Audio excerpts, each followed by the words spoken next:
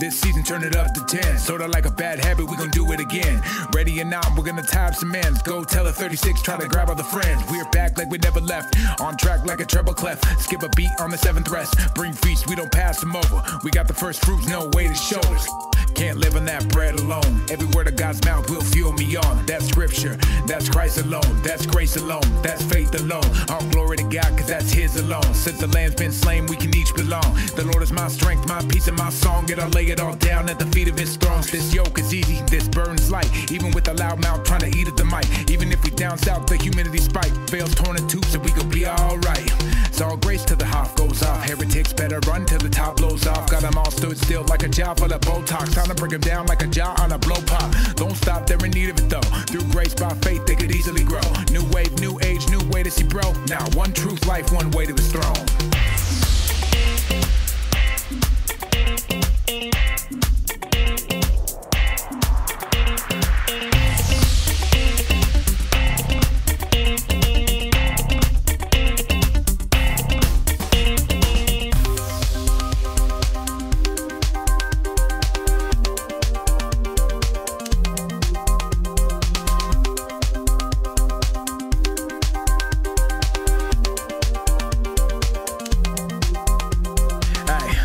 Can lift it up like the cataract. Google it, we ain't dropping any rhetoric.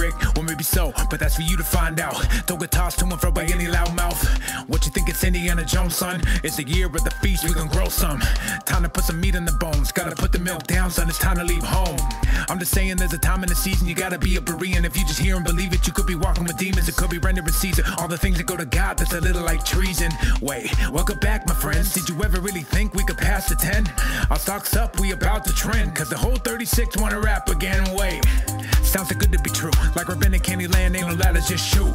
We hold true if it's loaded in the cannon. Best believe it's understanding. If it's not, it ain't proof. Like sacred name of the two house frame. Yeah, start to tickle, then you feel it in the planks. You better not, you be better off. Not trying to hassle Hoff, you can take it to the bank. This night ready, he's about to go off. Put the ring on your finger from the Cracker Jack box. It's hide and seek, let's see if you can find out all the little messages you hit before the timeout.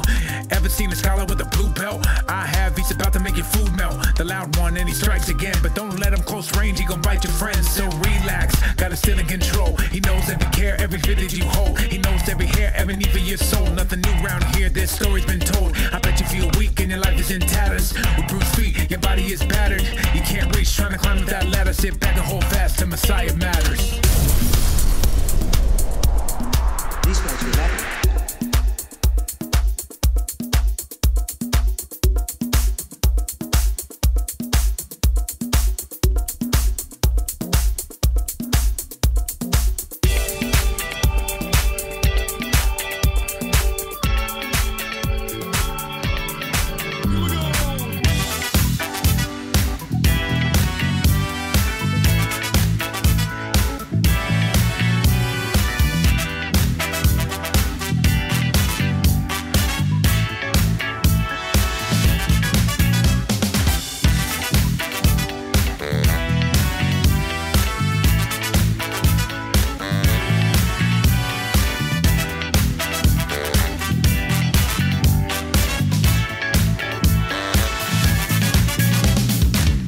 It is Wednesday, April 17th, 2024. This is Messiah Matters number 469. Let's get ready for Passover! My name is Caleb Hegg. I'm with you. Looking forward to Passover and unleavened bread and counting the Omer and Shavuot slash Pentecost. I'm Rob Vanhoff. It's going to be lit, as the kids say today. As the kids are saying. 100%. I am excited. Man, you know, it says that we got people in the chat room, but nobody's saying anything. Hello, chat room. I hope you're all doing well out there in internet land, in the webs, In the Chat room. in the chat room. Let's get, let's get, excuse me. I got something in my lungs today. I don't know what's going on. You're going to hear me hit this uh, cough button multiple times, I'm sure. Um, okay, let's get some things. Well, actually, I still got my producers uh, coming up. Thank you, all, by the way, to all of our producers. Uh, we do have new producer art up. I don't know if it's on the website. I think it is. Um, I will check right now. Uh, give me just a second. Uh, while I do that, Uh, chegg at torahresource.com. It's C H E G G at torahresource.com. That is the uh, email address. Also, 253 465 3205. It is 253 465 3205. And of course, this show, if you want to listen to past shows, you can go to messiahmatters.com. By the way, that's where you can buy producer producer credits. I'm pretty sure, uh, Mike, if you want to check that real quick for me, that'd be very helpful If- on Messiah Matters. Go look and see if there is uh, the producer credit uh, mug is showing there. If not, it will be by the end of the day. So by the time, if you're not watching this live, by the time you do watch this, um, you will uh, be able to get your new your spring producer credit. Sorry it took me so long, um, but uh, we're we're moving along. We're getting some. So I say every every week that uh, we got some great things going on. I'm going to tell you this: we have a new platform for the uh, library that we're creating right now, and um, it's going to allow people to have monthly memberships. Which is going to be really nice, um, and it's going to include some um, some courses as well. And so, very excited for that. That should be up probably within the next two weeks. My hope. Uh, I might be pushing it a little bit on that, but I'm gonna I'm gonna try my hardest for the next two weeks. So that's one of the reasons that uh, everything's taking me longer is because we're just mad dashing it to try to get all this done. And uh, of course, this will be on the platform, TorahResource.com, which is our producer. You can go find all sorts of stuff on TorahResource.com. And uh, our new library uh, membership is going to be up shortly. And some of our courses in an evergreen format is going to be up shortly. We're going to have a new book called Is the Torah Only for Jews? That's going to be up in the next month or two. Um, we're just very excited. We got so much like on the horizon. It's, uh, it's going to be great. Uh, and if you're watching the chat, then Mike has just put uh, the link to the producer credit. Thank you, Mike, for that. Appreciate it. Uh, go get an executive producer credit now, if you please. That is Last but- one cool logo. I just am looking at it for the first time. Yep, the VW. You know, I I was a Volkswagen guy.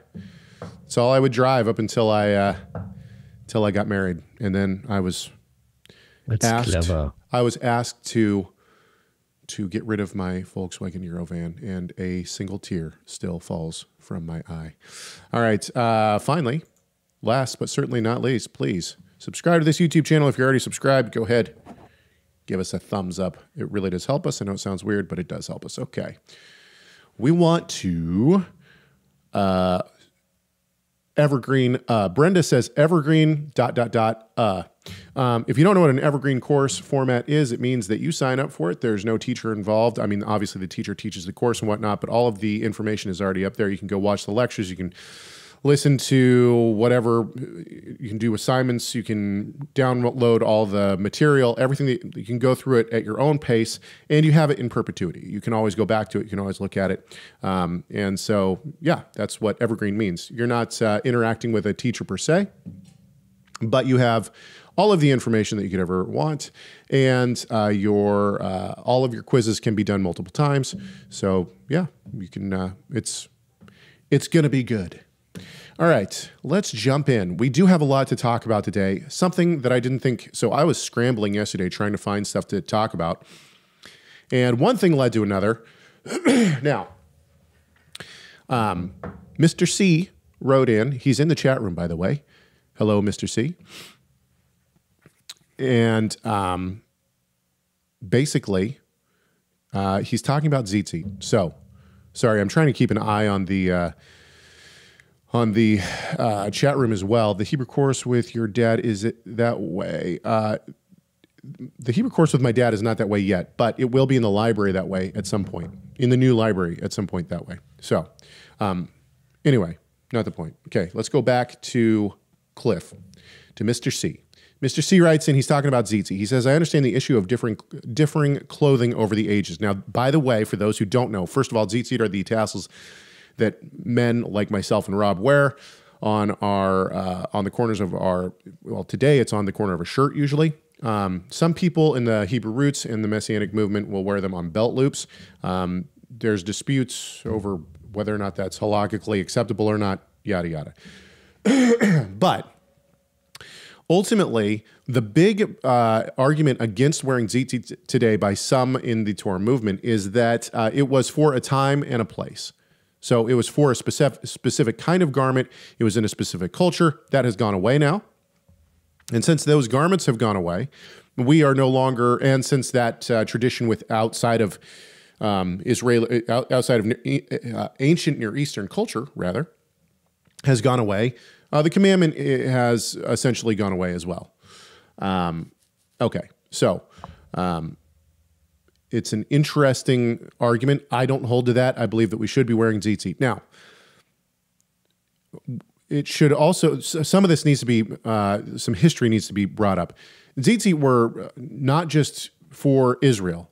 People in the ancient Near East wore tassels on their garments. Um, and we see this, uh, there's a lot of evidence to this. In fact, there's a lot of paintings and whatnot that you'll see where people were wearing tassels on their garments and uh, they they were to represent flowers, and um, so this and you can see this actually in tzitzit. Uh, if they're cut too short, they'll actually flare out like a flower. Okay. And it is believed that only uh, high up officials, royalty, and sometimes military commanders were the ones who wore tassels on their garments. It was like uh, it was like a status symbol that you had garments that had tassels on them like these kind of uh, decorative tassels on them. And I think it's this actually like uh, in our culture, the king of rock and roll, Elvis had tassels. Uh, that's called fringe, my friend. Fringe is different than tassels. Come on, get it right. No, he had uh, tassels and fringe. Fringes okay. and tassels. Okay. Now he okay. had them on his sleeves too. Yes, yes, of course. so we're taking Elvis now as the model. No, anyway. So the the point here, I think that this actually does play into uh, why God gave Israel as a nation tzitzit.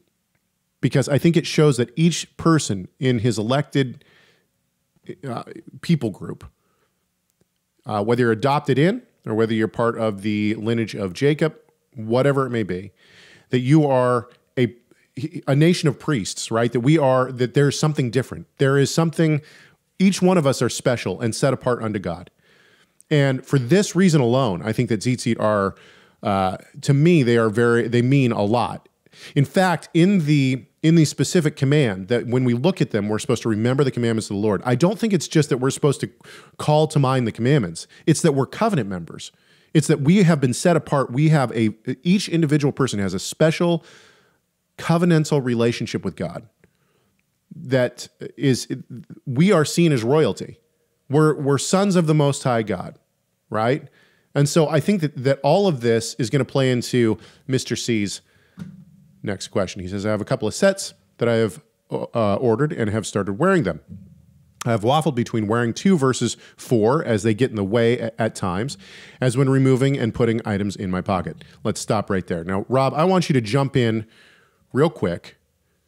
Tell me, yes, tell me if I if you think I'm off in what I've said so far, and also respond to what you've heard so far. Oh, I think um, I I think it is. Uh, it does seem to have some connection to clothing, right? I mean, it, in the same way other nations sacrificed. You know, there, there there's they had special holidays. You know, cal- calendrical celebration. So right. If if that's true, and it's true that there is iconography, I'd probably I don't know, maybe paintings would be in Egypt, and there might be some, but I know that there's um, like in Assyrian reliefs and stuff like that, you can see, uh, which probably were painted originally. Um, but by the way, by the way, hang on just a second. If, if you would like to see some of those, I did an entire video on this on pronomian.com on uh, tzitzit, and I, uh, or is it a written article? It might be a written article. Uh, no, it's it's a, it, it's not. It's it's definitely a video. Anyway, in that video, I show some of the uh, some of the evidence that we have, the the paintings and whatnot, and the and the reliefs. Keep going. Um, but but yeah, it's a, I mean it's a warning about our eyes and our heart, right? That our eyes go after things of the world, and that the tzitzit are a reminder for us. It interrupts that tendency of of the sinful heart, um, and to remember, you know, to whom we belong and the covenant. Like Caleb was saying, you know, the our covenant membership looks like something. Right. It's not an undefined relation. Our, our relationship with God and our place in His kingdom is not an undefined place. It's not a space where we have to. In, it's left on us to invent religion. It's not uh, to invent our worship of God. I mean, Right. we see what happened with Nadab and Avihu when they had an idea to invent religion. Right? It's like no, we, we, we're we're. It's a blessing to abide within the the things that God has revealed to us as for our good. It doesn't mean we understand them all. And for me, the tzitzits are a little bit of a mystery, and I'm okay with that, I, uh, Right. Because it is a curious thing. Well, let's Um, keep, let's and, keep, and let's to keep. the and to the point. I remember once, way back, that we're probably talking 25 years ago. I I don't do it anymore, but I had tzitzit that I looped on belt buckles because that's the that's what the people I learned from were doing. And I remember like coming home and one of them was gone. I only had I only had three, and I was like, "Oh no!" It was like, "What happened?" So I think it got stuck on something because I had I had times, and even now with you know wearing the in a different way, it can get if you're not careful, like in a yeah, they'll rip uh, out, right? in your seatbelt. You know, it can get stuck. Like there's places, and and so I, I understand what um, uh, what Mr. C is talking about with like, you know, and you definitely here. Here's the thing: if you're doing like, like, you know, not that I'm like a big do-it-yourself fix it or fixer upper guy, but like if you're doing stuff where you're dealing with tools and stuff, I don't. I don't Chainsaws. my tzitzit. I, I don't. Right. You know, if I'm doing work, I, I don't want them to get stuck or cut or. I or so anything. okay. Let's pause for a second. I have I have on that note. I actually do have a set of tzitzit that are specifically for work. Oh yeah, how does that? Oh, cool. Oh, they're all shredded. They look. I mean, you know, I, I wear them anytime. I, so anyway, um, but That's yeah, and good, I also I like that. I like. I that. also make mine so that uh, I I make them off of my shirt, and then I'm able to loop them into my shirt. You know, I have a four cornered shirt, Mm-hmm. and so I can loop them. So I can take them off and put different ones on. That way, I can wash the shirt itself without having to wash Nice, the tzitzit. Anyway, so let's get back to Mr. C's, uh, and I do want to. We need to hurry a little bit on this because we have uh, we already have uh, questions coming in about Passover, and uh, that's great. Let's keep going with Mr. C's uh, uh, question. He says, "I have waffled between wearing two versus four. There's nothing in the scriptures specifically that says you have to have four. Um, there's nothing that says that two is uh, a must. it just simply says on the corners of your garments. Now, what, however you take well, that." Deuteronomy says four on the four corners. on the four So- corners of your garment. Right, right, right. But but I'm, I mean, the question is: is it on the corners or is it? So once again, going back to the garment itself, are we talking about a specific garment that they're wearing? How does that how does that translate into a circular bottom like a shirt that we have today? Are we talking about belt loops? But I I digress and I and I relent to to uh, Rob's superior biblical knowledge that that there should be four, right? Okay, so you think that there should be four? Is that is that your is that Well, your think that's halakhic what I- decision? that's I think the simple meaning of. Is it like Deuteronomy 14 or I, I'm not sure. Rob has spoken. So so there you go. From from his lips find to your ears. Um, okay, so four is the number. I have a couple of different lengths. Okay, I don't think length has anything to do with it except for what Yeshua says, right? The Pharisees make theirs long in order that people can see them. And um, 22 I've- 12. That's the Deuteronomy There you go. 22 12. All right. Um, let's keep going with his comment though, because he's got even more to uh, even more to, to ask. I only wear them when in public. Is that is about the only time I wear regular pants. At home, I wear swe- uh, sweats or bib overalls. My understanding of tzitzit goes back to before I was led to TR, and as such, I may have picked up bad info, such as are an external identifier as a people, as a people in the ancient uh, times. My wife has questioned not wearing them at home and only in public. Um, once again, I like personally, I would say this. I think that there's no there's nowhere in scripture that says you have to wear them all the time. You have to wear them when you're sleeping. You have to wear them at home. You have to. There, there's th- this comes down to personal halakhic family halakhic decisions. And for me, I would simply say this. I think that it is an honor and a I think it shows that uh, that I am that I've been set apart. I think it's another way that God shows that we are set apart. Right. That He puts a stamp on us, and so if you only wear want to wear them uh, when you go out, that's totally fine. Uh, I don't think that the scriptures say anything against that. However, I personally would say I find it as a badge. I wear them as a badge of honor. That's that's my personal opinion. And uh, he he goes on to say that his wife she can she's concerned that it's it's like the Pharisees who only wear them to uh, so that people will notice them. I I don't think that that's Mr. C's uh, intention. And there's an intention of the heart here, right? The Pharisees wear them so that people will say, "Wow, look at how holy you are." I don't think that that is the case here. She also reminds reminded me that there should be uh, four each, as Rob has now crushed my first comment. Okay. Um, so my wife takes it as he is addressing individuals, and as such, the tzitzit are personal and to remind us individually, and along with that, that they are not to be seen by others. Uh, so I, I think that they are to be seen by others. I think that it, it shows, you know, the fact that the I think that the the fact that they that, however, I think that it's both. I think it's both that we wear them as uh, a gift from the Almighty, right? He's he's concerned about our clothing. He's concerned about our food. He's concerned about every aspect of our life. He he is a part of, and so I think that that it, it plays into that. Uh, I also think that it's a sign to other people that I am a servant of the Most High. But I think this comes down to personal halakha, Mr. C, and I think that this is unfortunately this is the answer you're probably not going to like.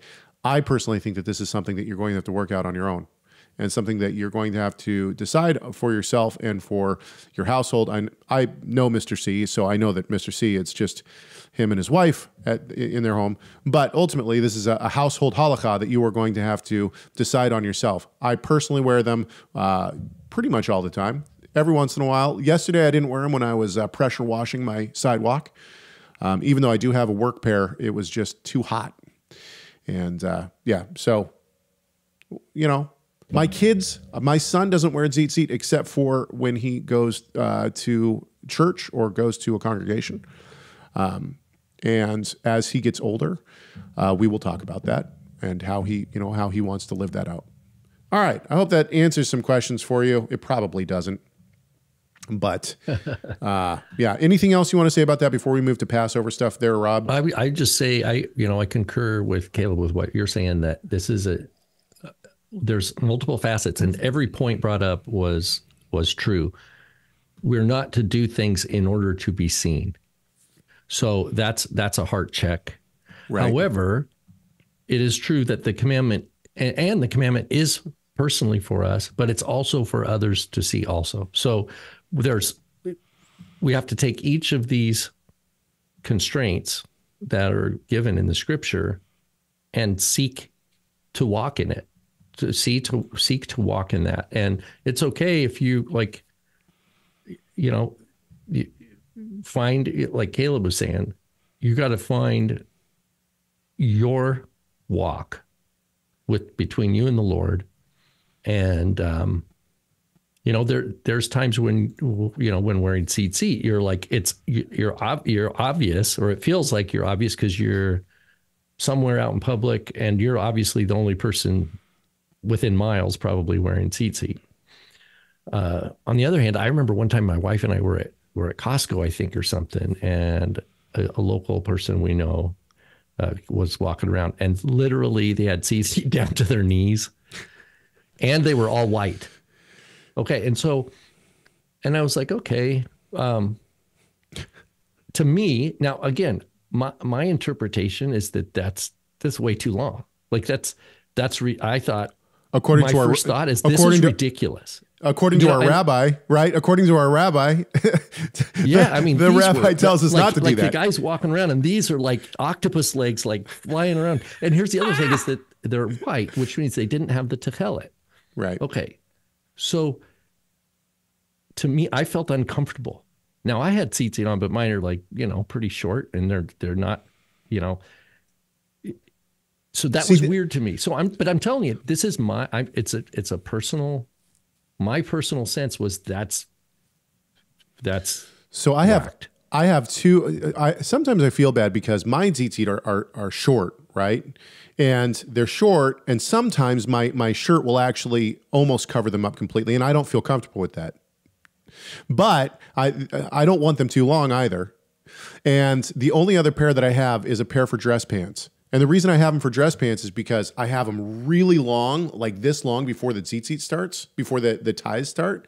And I do that so that I can push them all the way down in my pants so that I can pull I can push my button up shirt all the way down and oh, so you can tuck your dress shirt in. so I can tuck my dress shirt Yeah. and then they loop up and back over and then they're only about this long when they come out. gotcha. Anyway, all right. All right.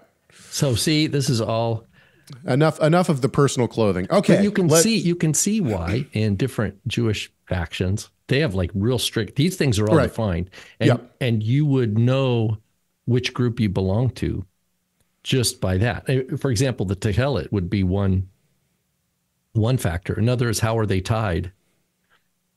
Right. Right. These are things that it's not like all the Jewish world is unified on this. My dad said to me the other day, he, he looked at my tzitzit, he goes, Man, I have never seen tzitzit tied like that.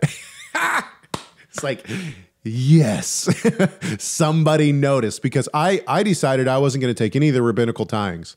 So I just, two knots, and then I wrap 50 times. And I do that so that it looks almost like a stem of a flower, but it also is the Jubilee, right? 50 for the Jubilee year, right? And uh, and I didn't want to look like anyone else. So Caleb, you already don't look like it. that's right. That's right. All Gotcha. right, let's move on. This is going to be a good one. Oh man, I'm so excited. I I love it when we talk about Passover. And today we have some Passover talk. First of all, I got into a lengthy conversation with someone on the uh, the YouTubes on in the comments section uh, about when Yeshua was was crucified. Okay, now the somebody asked me this the other day. Somebody asked me, why does the chronology matter? Why does the chronology matter? It seems like such a trivial thing, right? And you got groups like 119 Ministries and others who have put out these charts saying that Yeshua died on a Wednesday. Now, I think that there's definitive proof that he clearly did not die on a Wednesday because John That's says it was. Friday. That's just that's John says it was Friday. Not and we'll get to that in just a second because that's I mean that's how I ended the, the conversation with this person. I said, "Well, John said he wa- was was uh, was crucified on a Friday," and he said, "Show me the verses." So I posted three verses, and we'll get to those in just a second. Why does the chronology matter? Well, I'll tell you why the chronology matters for me when Yeshua says in, in Luke 22 19, do this in remembrance of me, I believe that this is a clear de- declaration of deity, as I have said on this program many times. Okay. This, the, the Passover meal, the Pascha meal, as he says four verses prior to that, I have earnestly desired to eat this Passover with you, the, the, uh, is it, it, that has to include the Passover lamb, which is a sacrifice. So when Yeshua says, do this as a memorial to me, First of all, to do the Passover is uh, seen in Exodus 20. We are to do the Passover, right? And it is supposed to be a memorial to Yod He Vav He throughout your generations, right? So he's using Tanakh language. Do this in as a memorial, but not to Yod He Vav He, but to me. So once again, this is a high Christology. He is saying that he is Yod He Vav He. Beyond that, there's a sacrifice involved. So there are plenty of scholars who say, well, Yeshua never said that, that we should sacrifice to him. Yes, he yes he did. Luke 22, 19. Do this in remembrance of me. You are to do a sacrifice unto Yeshua. This is a this is a vitally important passage, in my opinion, showing that Yeshua is in fact claiming to be Yod He Vav He. Now, what happens if Yeshua is uh, is uh, not if if Yeshua's Last Supper is not a Passover meal? Then that all fi- falls away. None of that makes sense. His language doesn't equate to the to the Exodus. There's no Passover lamb on the on the table. Well, why would yeah? I mean, the whole point of I have desired to eat this this Passover, Passover. with you. Where send them to the city, and the guy will meet you, and you say, "Where am I to eat Passover with my disciples?" Like how? So pe- people will say that that this is all the day before Passover. This is Nisan 13, and this is what is known as the Johannine chronology. And this is the other point: is that the if you have the Johannine chronology says that the Synoptic Gospels are off. They're wrong. That is an inerrancy problem. Now you're talking about Scripture having a mistake. The other way, the synoptic uh, chronology will say, well, John is doing this for theological purposes. Like a it's midrash, not, yeah. yeah. It's not really. It's not real. And so once again, now you're talking about not just using a midrash, but uh, like uh, giving false facts. Once again, I think that this is this is a theological problem. Okay. So I think it's vitally important that both John and the Synoptic Gospels line up. Now, let's go to my claim that John says that it was, in fact, Friday. And it, Matthew does too, by the way. The next day, that is after the day of preparation. The chief priest, this is Matthew uh, 27 62. The chief priests and the Pharisees gathered before Pilate. Okay. So this this is on Shabbat. This is on Saturday. Now he uses the word preparation here. And people are going to say, well, people who hold to various, especially people who hold to a Wednesday crucifixion, right? Oh, well, Yeshua was, was crucified on, on, you know, he had his last supper on Wednesday, crucified on Thursday. Um, this, by the way, doesn't work. Anyway, John 19, 14. Now, it was the day of preparation of the Passover. And see, people say, aha, see, it was, it was the, they were preparing for Passover. That's not what this means. That is not what this means. And I can prove this, I think, First of all, uh, the day preparation, this is how they said Friday. This is how they said Friday.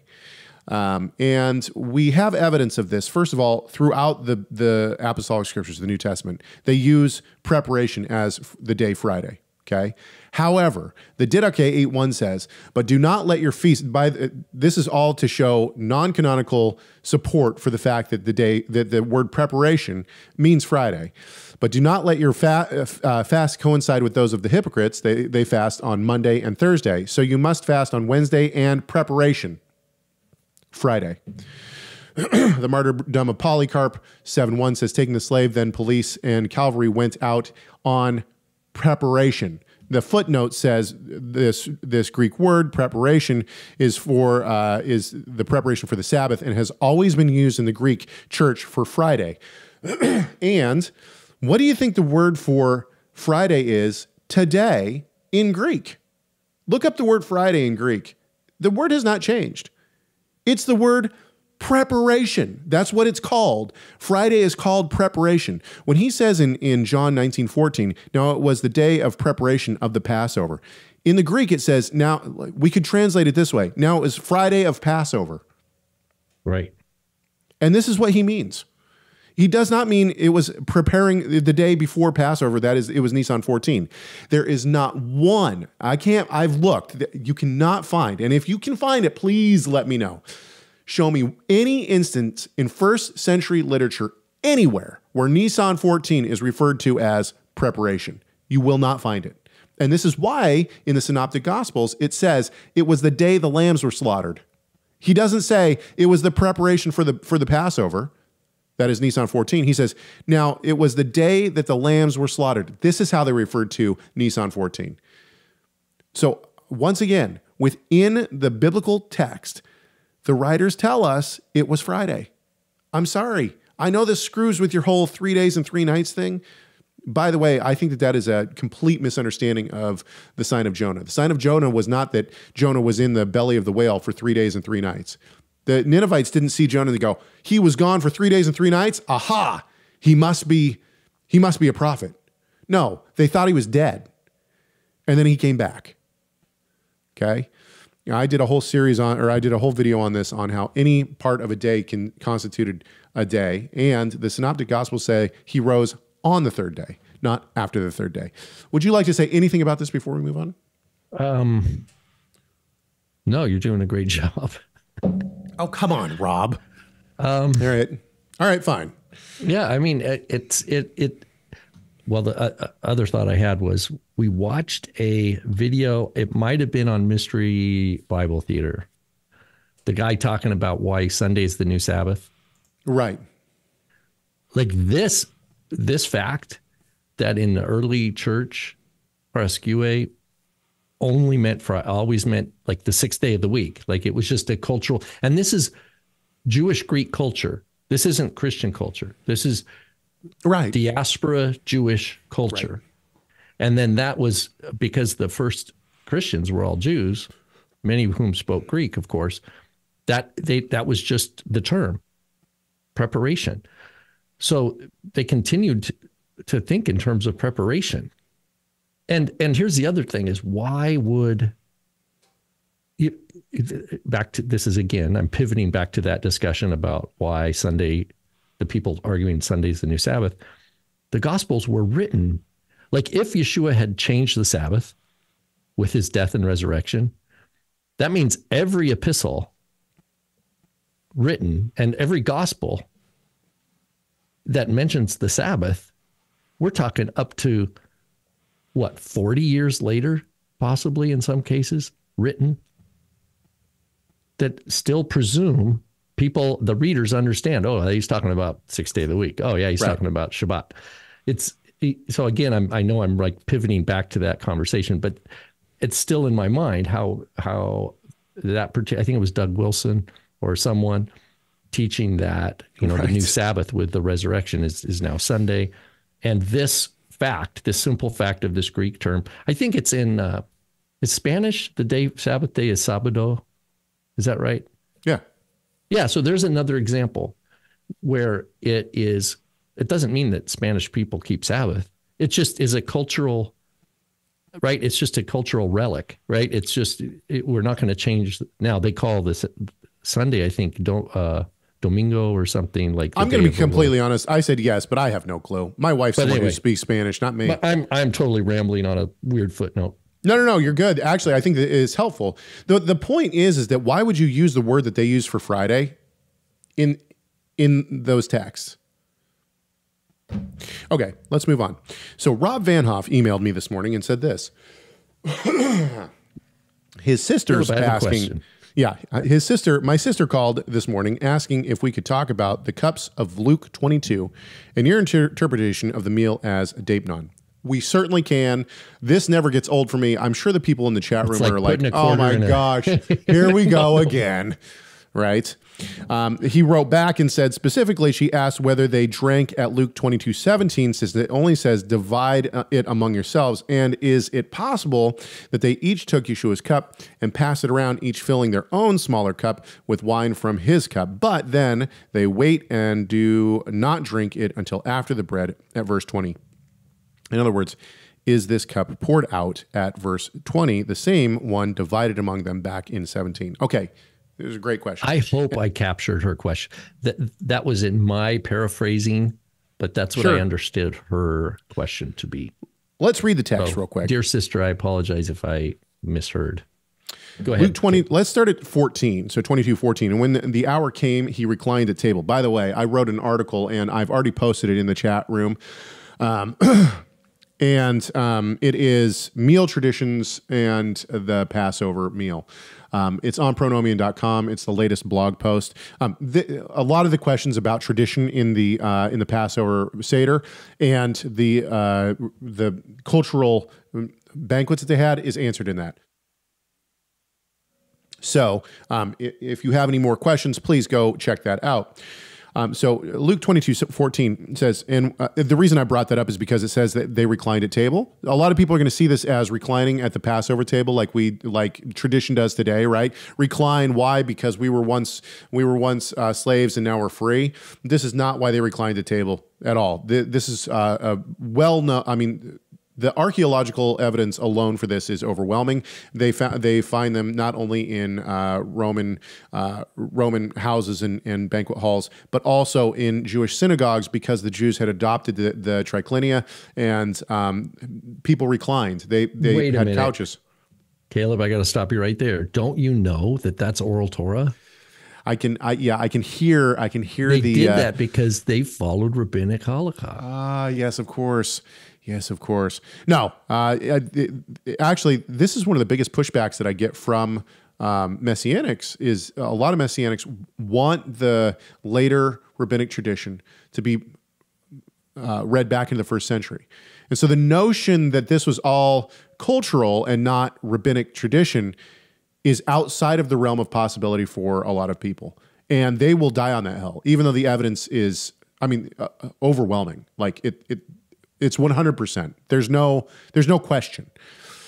So, and when the hour had, claim, had when the hour came, rather, he reclined at table and the apostles with him, and he said to them, I have earnestly desired to eat this Pascha with you before I suffer. For I tell you, I will not eat it until it is fulfilled in the kingdom of God. Um, or I won't eat it again till it is fulfilled in the kingdom of God.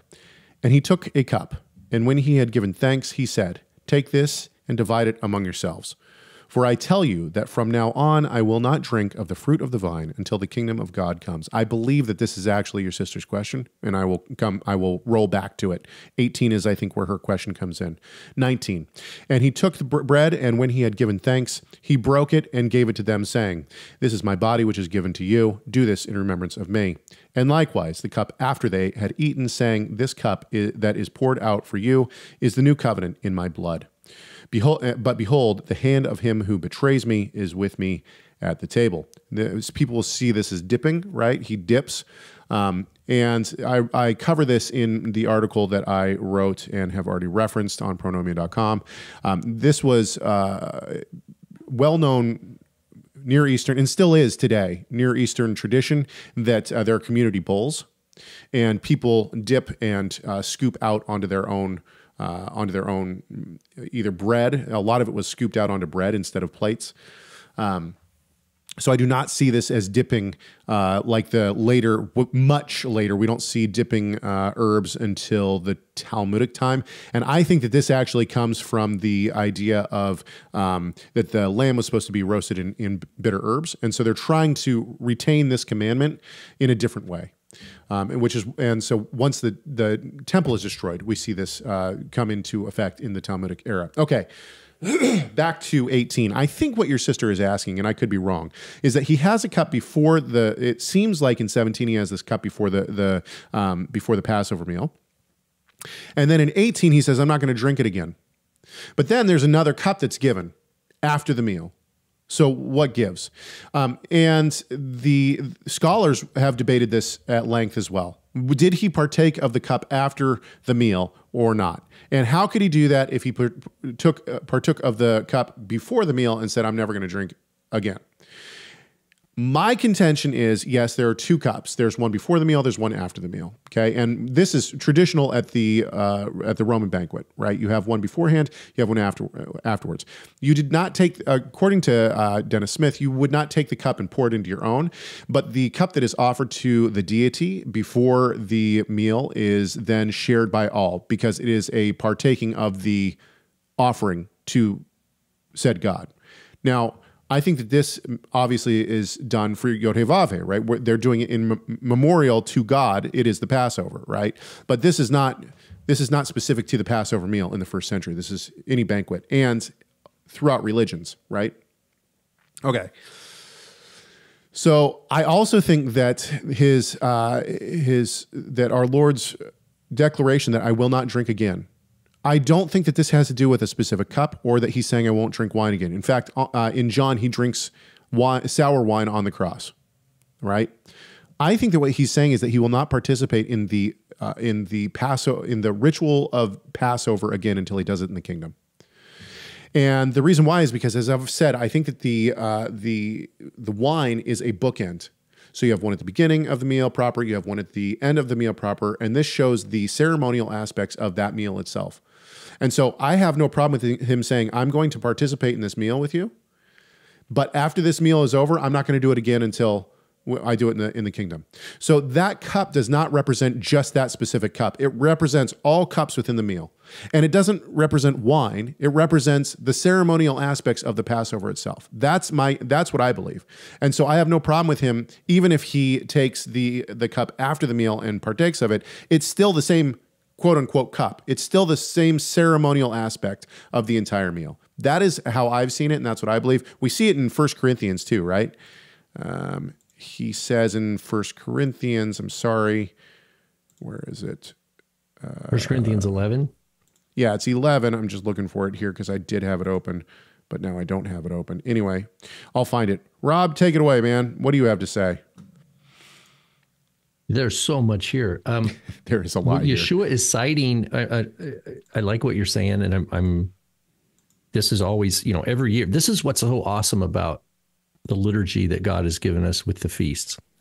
because in my opinion, the these discussions are inexhaustible by design. Because a, there's stuff I forget every year. So that in and of itself, like you know what I mean? So that that in and of itself is one of the functions of the rehearsal, right? Of doing it again, of remembrance. Because remember, remembrance is a core thing, like you pointed out. And but then there's also stuff I've never seen before. Right.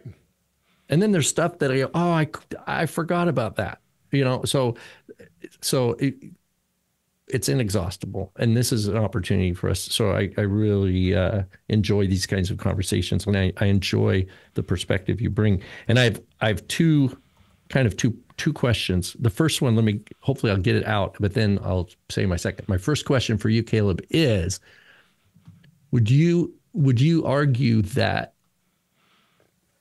the the expression of the command of the Passover or the Pesach using a form that is the Deipnon is an example of how we just like we were talking about the tzitzit like we need to it's on the believer to find a way to express in a new time and place to fulfill the commandment. Okay so but don't answer that yet.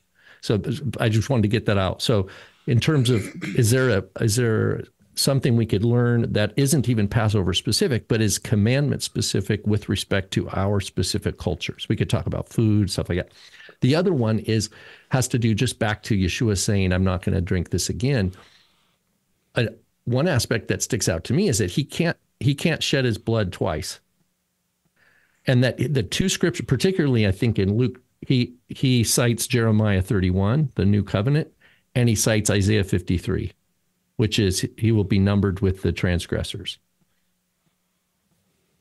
and he is talking about do this in remembrance of me so his shed blood we, so yeshua himself sets us up to go wow we are coming to this annual Passover meal, which Yeshua has celebrated every year of his life. Like we learned right. that earlier in you, Luke. Luke says when he was 12 years old, this they did this every year.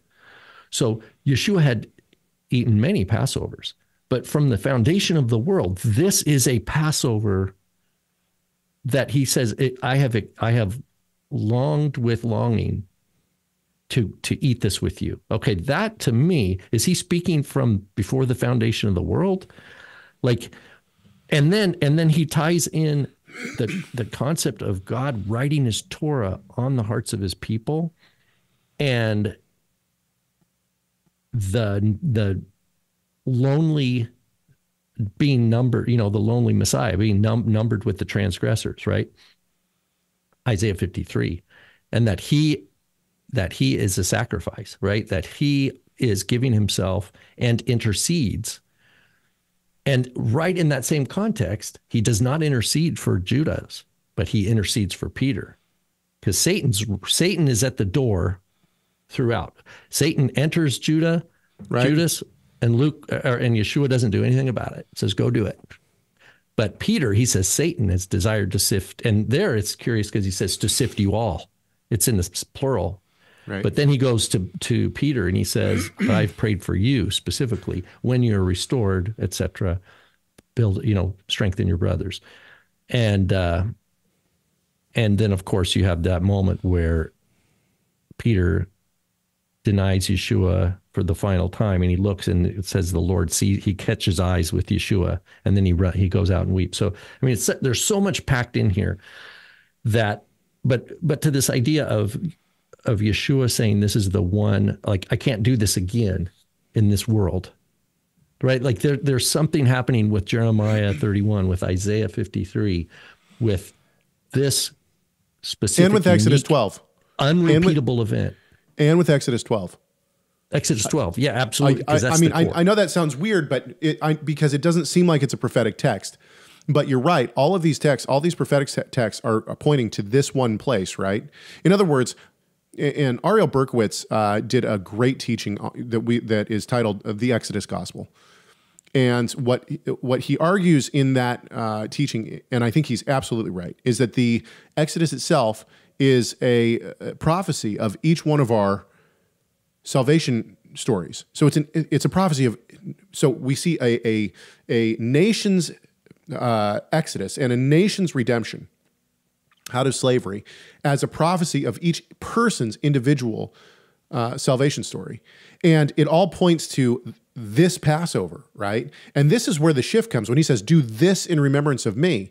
What he's saying is this Exodus that we've seen and we've celebrated so many times since it happened is all pointing to this accident, uh, Exodus, the second Exodus, the true Exodus. And so we we celebrate both. We celebrate this Exodus in light of the fact that we too have come out personally from slavery. Um, it, it, it, I hope I'm touching on what you you are getting at. Is that, am I? Well, here's another aspect. So I saw a meme on the internet the other day, and it showed like the lintel and the doorposts, and it had like blood painted on it, and then it said, "God didn't look at the worthiness of anybody in the house. He just looked at whether there was blood on the door. And then they applied that to, and this is our salvation. Like, and my my response, I actually responded, I said, well, in Ex, if you, I mean, your image is from Exodus 12. Males had to be circumcised. They they had to, you know, no foreigner could eat it. You had to bring the lamb into your into your yeah, house. Yeah. So yeah. so now uh, the reason I pushed back was not because I'm I'm insisting that there's works that contribute to our righteousness, nor that those things made Israel worthy, but they are part of the the deal. And if if the Jeremiah 31 Brit Hadashah is part of our thinking by Yeshua's instruction, Torah on the heart is is circumcision of the heart. Right. right. These are the same thing. And so that's another aspect is the is this okay, so back to the other point though. So is this an example of how a commandment has has an element of it that will be culturally um, subjective depending on time and place in history. Absolutely, absolutely. And and actually, so this ties in. Let's let's get to Burning Bushcraft's uh, question first um, because he says, So would doing the cups as they were commonly offered to deities be considered worshiping God in a manner such as the pagans? And I would say no. And the reason why is because it seems to me, and I did, I well, tried he, to. Wait, he says don't share the cup of demons. Right. So, what does that mean, though? In other, I think what Burning Bushcraft is asking is, can we actually participate in like the four cups or drinking cups at Passover to Yeshua? Is since the pagans do it, and my response to that is the pagans do all sorts of stuff and rip off, uh, you know, God's commands all the time.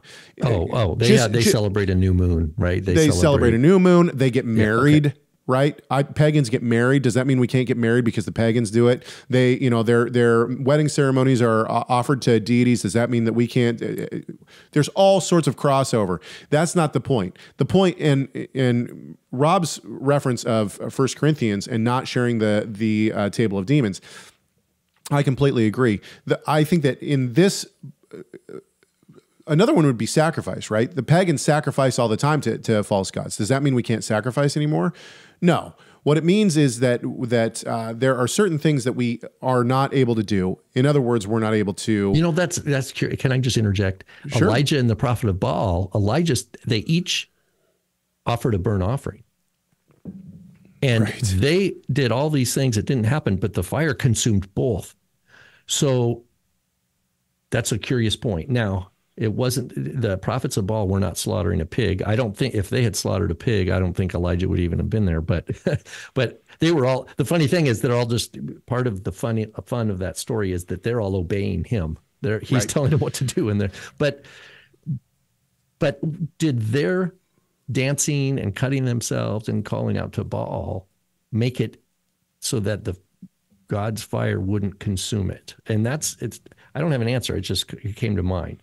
Well, Burning Bushcraft uh, follows up right now and he says, I ask because of the everything is pagan mindset, almost to refute the everything is pagan. And, and the point here is this I think that we see through, I, I've tried to trace back when dedicating wine became a, a thing for Passover, and you just can't. It goes back so far that you can't like wine has always been a representation of something, right? It's uh, we, it's always been a rep. Like people have always dedicated wine and or alcoholic beverage and food to God. That's what they've done, and the pagans have done it, and and uh, the the worship of Yod He people have done it as well. We see that uh, you know we we see the same thing even even Noah sacrifices to God, right? So food is all, and I would argue that the sacrifice always has to do with meal. A sacrifice always has to do with a meal, right? Whether or not we participated in it or not, that's not the point. The sacrifice always has to do with eating. And so people are going to bring up like whole burnt offerings and whatnot. My point is, is that in that case, God is the one who is uh, is the representation of the of the one taking the meal. Okay, so the- the point is simply this: that uh, it's not whether or not we offer wine or bread to God, because that is that's what we've always done. All food and drink should always be offered to God, whether it's wine or not, right? This is why we pray before a meal and we pray after a meal. Um, Melchizedek is another a great example, right? So um, I would just say no, that that's not the case. In terms of what you're saying, uh, and remind me of your question now. Your question is, oh yeah, Well, just- individual halakha. I, I think I think that uh, that I don't think there's anything wrong necessarily with celebrating the Passover the way that uh, people, uh, you know, the Jewish people have done for, for a long time. I know that plenty of Messianics, including my father and, and mother, are going to have what would be considered a traditional uh, Passover Seder on Monday night. That's that's fine and well. I have nothing against that. Um, I think that the traditions often were were built off of cultural elements. They were responses to Christianity in, in many cases. The Afikomenos is, is a perfect example of this. Um, and so I think that there's there's no commanded way that we have to do this, right? We are supposed to have a memorial meal unto God according to the Torah, we're supposed to have the Passover, uh, the Passover lamb there. We can't, so we do as best we can. We have a memorial meal to the to the Lord, and in that, I think it's up to each individual house to figure out how they're going to do that and to set their own tradition. I do think, however, and this is the last thing I'll say before I pass back to you, I do think tradition is important. And what I mean by that is whether or not you're going to uh, celebrate the standard Jewish tradition or whether or not you're going to make up your own, I think it's important. And I've, I've realized this more and more with my own children. The kid, our kids need something to hold on to. As they grow older, those traditions become nostalgic and they become things that they want to, to pass on and keep going, keep going with because it's the tradition, right? And so my family has has started to uh, we've created we've taken some traditions from Christianity, we've taken some uh, traditions from Judaism, and we have what we call household traditions. But the household traditions are just as important to us as the other traditions. Why? Because they're our family's traditions, and I think that these are the kind of things that that you're talking about, and I think that they're the kind of things that that we need to to uh, solidify as believers in our home. Does that answer your question? Yeah, yeah. I think whether it's, well, I know, I think you've shared before, like you guys love Mexican food, right? So it's like, well, so you can take things that are really good, you know, and that you like from Mexican food, and you can uh, still wa- integrate, like ex- express your walk of your love of God through food according to the Torah and enjoy Mexican cuisine at the same time. Or, you know, it's a, that's just another example is where God gives commandments that are designed to to keep the priorities right, right? So that we love God, we love our neighbor. These are all these priorities are the, the core. And these everything is contingent on that. So we but we then bring that meaning in our own unique historical circumstance to that commandment. And so uh, but then when the tra- but traditions can then become solidified. Like okay, like there's there are there are probably Jews that would never go to a seder unless there were four cups. Right. There Right. has to be four cups. Well, now, but is that crustified, calcified tradition now that obscures potentially? Like, because Yeshua also wants us to remember that traditions in the Word of God are to be remember we're to keep in mind that they're separate. It, it's not a bashing of all tradition, but it's saying, look, and so in for in my opinion, that's why it's good to do it a little different. maybe do you know maybe change some things up in, in the way you celebrate Passover from last year. You know, I can't- And they're going to tell- be different anyway. Why? Because the conversational element. You know, for me, I always like to get the popcorn going in terms of like discussion, and that's always unpredictable, and that's a beautiful thing. And so that in and of itself is going to make each Passover unique. Plus, you're going to have different people. I mean, you might, your core family might there, but you might have guests that are different from this year to that year. You know, so I there's all you- sorts I of things that are always changing. you brought up the four cups. I can't tell you how many. I mean, every pastor I've ever met will tell you tell you, oh yeah, well this is the you know this this is the third cup that Yeshua or that Jesus drank. You know, or what? It's like, okay, fine. I'll tell you a last little last little story slash anecdote before we go. You know, uh, when my children were young, and you know, I like everyone else have had the the Christmas debates with family members and whatnot. My family doesn't celebrate Christmas. Our extended family does, and they have been quite sore um, that we don't celebrate Christmas. And um, one of the things I realized when my children were, when my son was young, before we, my daughter even came along, was that I, I, I thought, how am I going to rival Christmas? I'll never be able to rival Christmas with any of the biblical festivals. You know, my favorite my favorite holiday is Passover. It's my favorite. I love it. How do I get my son and my kids as excited for Passover as they would be for Christmas? Because I was young once. I was, you know, when I was 6, we had a Christmas tree and I loved Christmas. So how do, you know, how do I get my kids that excited? And I'll tell you, bribery works every time. I figured what I always looked forward to as a child was the presents. Surprise wanted- gifts. Yeah, I wanted the gifts under the tree. That was the best part of Christmas, right? And so my kids, you know, there's been a rabbinic Jewish tradition of getting the leaven out and having a leaven hunt before before uh, Nisan 14, right? You let the kids go around and find all the leaven in the house. Well, I just figured, hey, you know what? We're not going to get presents on any other holiday. We're not going to give pre- we don't give presents to our kids on birthdays. We're not against birthdays. We throw the party and their their friends bring the presents. That's kind of the, our deal with our kids. We host. we we host and everybody else brings Cake the and ice presents. cream. Yeah, exactly.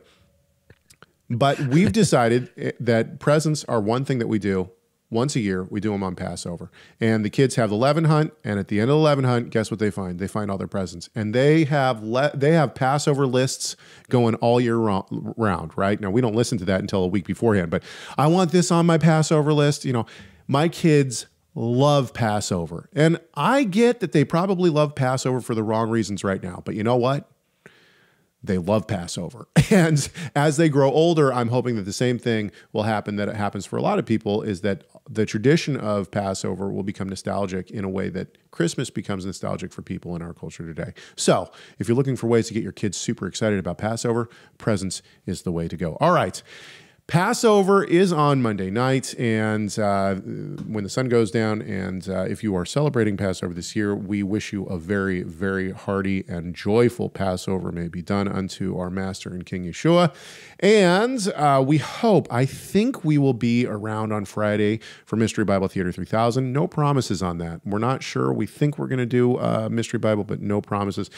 Otherwise, we will be back in the middle of Passover next week. Uh, I think we'll be back because, uh, yeah, why not? We we won't be able to prepare for it, so it might be a on the fly Passover special, um, but that's okay. And why won't we be able to prepare? We won't be able to prepare because I'm taking Monday off to get ready for the Seder, and then of course Tuesday is a Shabbat, which means Wednesday will be very on the fly if we have a show on Wednesday. And you know what? Maybe we'll take the week off since it's Passover. Who knows? You're gonna you're gonna have to find. You're just gonna have to wait and see. All right. We hope that this conversation has done. Get the leaven thing. out. Get the leaven out. And that is to glorify our great God and Savior Yeshua the Messiah. Why? I think you know why. It's because Messiah matters.